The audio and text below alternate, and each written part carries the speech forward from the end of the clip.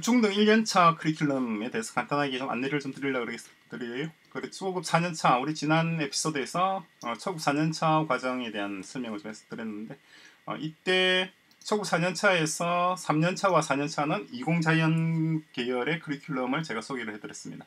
인문 계열의 커리큘럼은 또 별도로 어, 저희가 구성을 하고 있어요. 그리고 자, 초급 4년차를 마치고 난 다음에 일부 학습자들은 이 방향으로 어, 진로를 잡아서 나가 진행을 하게 되고 그리고 또 일부는 이렇게 예, 우리 이 커리큘럼으로 공부를 하게 될 겁니다. 자, 지금 이 구성되어 있는 커리큘럼들은 우리 지난 에피소드에서 한번 살펴봤습니다만은 중등 1, 2년차에서 이공과 자연 둘로 나눠서 공부를 해요. 그 중에서도 이공 분야입니다. 이공을 선택한 학생들이 공부할 그 부분이 이 부분입니다. 그래서 20 계통에서 공부할 내용 컴퓨터 공학이 좀 많죠. machine learning 기초도 이제 중등 1년차에 들어와서 machine learning이 무엇인지 대해서 어, 처음 이제 가장 기본적인 개념들을 공부를 하고 또 수학도 이렇게 쭉 돼 있어요. 수학은 여기 있는 것들이 우리 한국으로 치면은 한국의 중학교 어, 2, 3학년 수준 쯤될 거예요. 한국 중학 2, 3년 수준의 수학입니다. 이거 그리고 어, 여기 Node JS라든가 해서 중등 1년차부터 해서 뭔가 좀 전문성이 있어 보이는 그런 과목들이 쭉.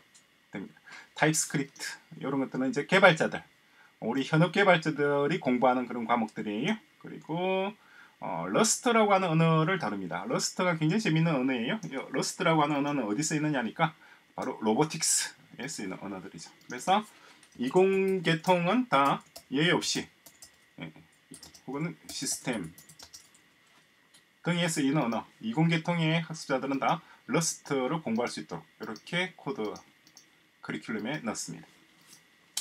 Rust A, B, C 해서 프로그래밍 관련해서 중등 1년차에 공부할 내용이 꽤 많죠. 그죠? 그리고 여기 있는 오른쪽에 있는 과목들도 마찬가지 이 이공계열 이 공부할 내용이고 데이터베이스에 대해서도 기본적인 내용 그리고 구글 시트가 무엇인지 구글 시트는 어, 엑셀과 비슷해요. 엑셀과 비슷하지만은 좀 다릅니다. 엑셀을 웹 기반으로 새로 만들었다라고 생각하시면 돼요. 구글에서 만든 거죠. 그리고 오른쪽을 보시면 이제 물리와 화학과 생명과학 칸 아카데미라고 하는 곳에서 만든 커리큘럼으로서 같이 공부를 하도록 이렇게 구성을 했습니다. 중등 1년 차에 들어서면서 과거 초급 4년 차와는 커리큘럼이 일단 양에서부터 확연히 많아졌고 어, 내용도 컨텐츠도 상당히 조금 깊이 있게 들어가게 되고 그리고 맨 왼쪽에 있는 이런 인문학이죠.